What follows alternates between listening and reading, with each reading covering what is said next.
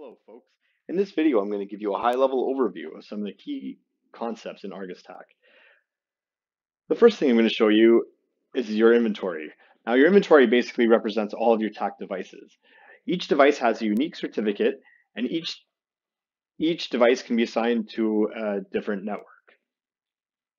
Your inventory has a limit of five to start off with and as you create more networks you uh, you will be able to add more devices to your inventory.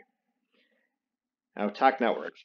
So there's no limit to the amount of networks you can create, and there's no, also no limit to the uh, number of networks that you can be a member of that other people have created. So in this example, I'm just a member of one network. Well, I've just created one network, sorry. If I click on this button, I can see the details of that network. I can see that I have my Pixel 4 in this network. I also have a team member, Jason. Now Jason has two slots and my Pixel 4 takes up one slot. So you can see that I'm using up three of the five slots that are in this network. If you want, you can uh, upgrade your network to get more slots. And you can also from here add a team member um, or add one of your devices. And the way I added Jason is, well, there's two ways you can add a member. Basically, you can add them by their email address or in their user profile, they would have an invite code that you can use to add them.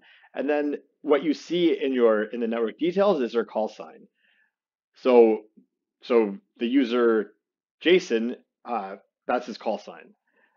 Okay, so those are the key features um, or the key concepts in ArgusTAK, and I hope you find this video useful. If you have any questions or comments, feel free to reach out to team at argustak.com. Thank you.